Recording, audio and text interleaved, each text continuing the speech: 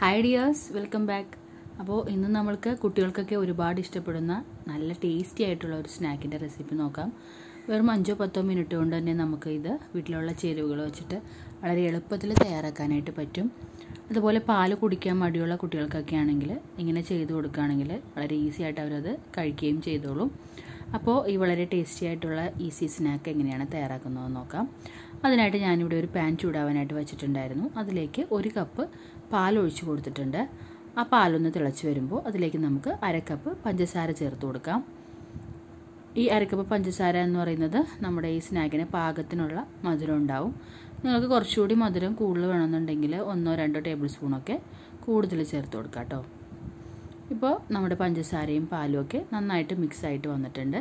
ഇനി ഇതിലേക്ക് നമുക്ക് ഒരു അര ടീസ്പൂൺ ഉപ്പ് കൂടി ചേർത്ത് കൊടുക്കണം. ഈ മധുരമൊക്കെ ഒന്ന് ബാലൻസായി വരാൻ വേണ്ടിയിട്ടാണ്. ഇനി ഞാൻ ഇതിലേക്ക് ചേർത്ത് കൊടുക്കുന്നത് ഒരു മൂന്ന് ടേബിൾ സ്പൂൺ ബട്ടറാണ് അൺസാൾട്ടഡ് ബട്ടറാണ് അപ്പോൾ നിങ്ങളുടെ കയ്യിൽ ബട്ടർ ഇല്ല എന്നുണ്ടെങ്കിൽ നിങ്ങൾക്ക് മൂന്ന് ടേബിൾ സ്പൂൺ നെയ്യ് ചേർത്ത് കൊടുത്താലും മതിയാവും കേട്ടോ പിന്നെ ബട്ടർ ആകുമ്പോൾ ഒരു പ്രത്യേക ടേസ്റ്റാണ് നെയ്യാകുമ്പോൾ ചിലപ്പോൾ ഒരു മട്ടിക്കുന്ന ചുവ വരും നമ്മൾ ഇത്രയും ചേർക്കുന്നതല്ലേ. അപ്പോൾ ബട്ടർ ഉണ്ടെങ്കിൽ ബട്ടർ തന്നെ ചേർക്കുക. ഇപ്പോൾ നമ്മുടെ പാൽ വീണ്ടും തിളച്ച് തുടങ്ങിയിട്ടുണ്ട്. ഇനി ഇതിലേക്ക് ഞാൻ ചേർത്ത് കൊടുക്കുന്നത് രണ്ട് കപ്പ് മൈദപ്പൊടിയാണ്. അപ്പോൾ ആദ്യം ഒരു കപ്പ് ചേർത്ത് കൊടുത്തതിന് ശേഷം വീണ്ടും ഒരു കപ്പ് കൂടി ചേർത്ത് കൊടുക്കാം.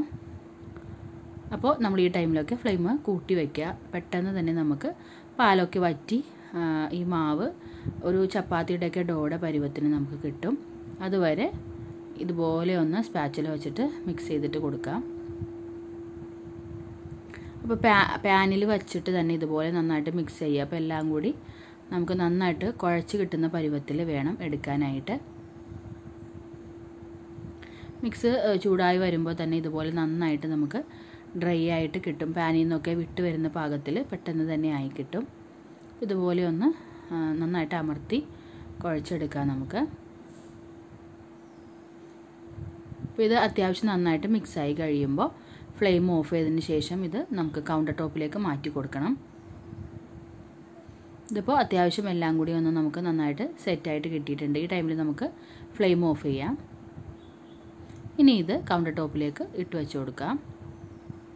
അപ്പോൾ ഞാൻ കൗണ്ടർ ടോപ്പിൽ വെച്ച് കൊടുത്തിട്ടുണ്ട്. ഇതിന്റെ ചൂട് ആറി വരുന്നേ ഉള്ളൂ. അതുകൊണ്ട് സ്പാച്ചിൽ വെച്ചിട്ട് തന്നെ ആദ്യം ഇതുപോലെ ഒന്ന് പ്രസ് ചെയ്ത് കുഴയ്ക്കുക. അതുകൊണ്ട് അതിന് ശേഷം നമുക്ക് കൈ വെച്ചിട്ട് കുഴയ്ക്കാൻ പറ്റുന്ന പരിവം ആയി കഴിയുമ്പോൾ കൈ വെച്ചിട്ട് നന്നായിട്ട് ഇതൊന്ന് കുഴച്ചെടുക്കാം. കട്ടകളൊന്നും ഇല്ലാതെ നല്ല സ്മൂത്ത് ഡോ ആയിട്ട് നമുക്ക് കിട്ടണം. അതുവരെ ഒന്ന് കുഴച്ചെടുക്കാം. ഒരുപാട് നേരമൊന്നും കുഴയ്ക്കേണ്ട. ചെറിയ ചൂടി തന്നെ കുഴയ്ക്കുമ്പോൾ നമുക്കിത് പെട്ടെന്ന് തന്നെ റെഡിയായിട്ട് കിട്ടും. അപ്പോൾ ഞാനിവിടെ നല്ല സ്മൂത്തായിട്ട് ഇത് കുഴച്ചെടുത്തിട്ടുണ്ട്. ഇനി ഇതൊരു നാല് പീസായിട്ട് നമുക്ക് കട്ട് ചെയ്തിട്ടെടുക്കാം. അതിനുശേഷം ഓരോ പീസും നമുക്കൊന്ന് നീളത്തിൽ ഉരുട്ടിയെടുക്കണം. അത് കട്ട് ചെയ്ത് ചെറിയ പീസാക്കാൻ വേണ്ടിയിട്ടാണ്. അപ്പോൾ ഇതുപോലെ ഒന്ന് നീളത്തിലാക്കി കൊടുക്കാം. ഈ ടൈമിൽ ഇതിലേക്ക് പൊടി ഇട്ട് കൊടുക്കേണ്ട ആവശ്യമൊന്നുമില്ല കേട്ടോ. ഒട്ടും തന്നെ ഒട്ടിപ്പിടിക്കാത്ത ഒരു മാവായിരിക്കും കേട്ടോ ഇത്. നമുക്ക് പെട്ടെന്ന് തന്നെ ഇത് ഷേപ്പാക്കിയിട്ട് എടുക്കാൻ പറ്റും. ഞാൻ ഇതുപോലെ എല്ലാം ഒന്ന് നീളത്തിലാക്കിയിട്ട് എടുക്കുന്നുണ്ട് നമുക്ക് വളരെ പെട്ടെന്ന് തന്നെ ചെയ്തു കൊടുക്കാൻ പറ്റിയ നല്ല ടേസ്റ്റി ആയിട്ടുള്ള ഒരു സ്നാക്കാണ് കേട്ടോ നമ്മുടെ മിൽക്ക് മെയ്ഡും മിൽക്ക് പേടയും ഒക്കെ കഴിക്കുന്ന ഒരു ടേസ്റ്റാണ് ഈ സ്നാക്കിന് വീട്ടിൽ എപ്പോഴും ഉണ്ടാകുന്ന ചേരുവകൾ മാത്രം മതി ഇത് തയ്യാറാക്കാനായിട്ട്. അപ്പോൾ ഞാനിതിവിടെ എല്ലാം നീളത്തിൽ ഉരുട്ടിയെടുത്തിട്ടുണ്ട്. ഇനി നമുക്കിത് ചെറിയ പീസസ് ആയിട്ടൊന്ന് കട്ട് ചെയ്തിട്ടെടുക്കാം. അപ്പോൾ ഇതുപോലെ ഓരോ പീസും നമുക്ക് കട്ട് ചെയ്തിട്ട് ചെയ്തിട്ടെടുക്കണം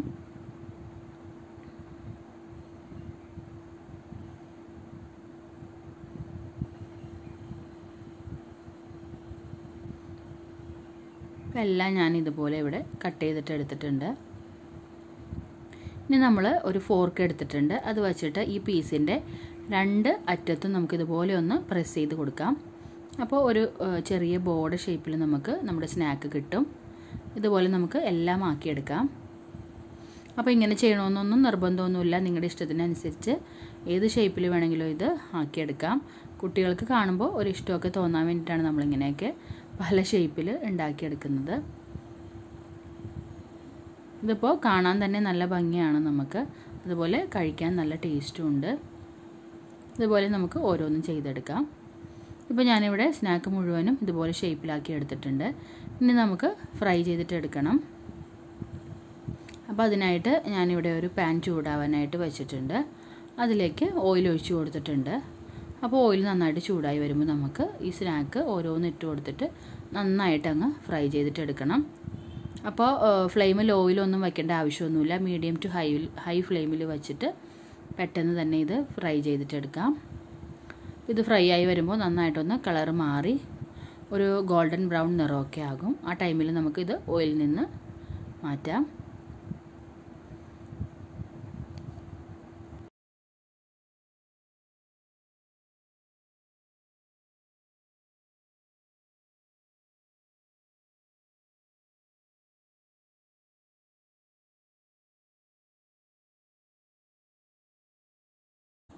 ഇപ്പോൾ ഇത് ഒരു സൈഡ് ആയിട്ടുണ്ട്. ഇനി ഇത് നമുക്കൊന്ന് തിരിച്ച് മറിച്ചു ഇട്ടിട്ട് നന്നായിട്ടൊന്ന് ഫ്രൈ ചെയ്തിട്ടെടുക്കാം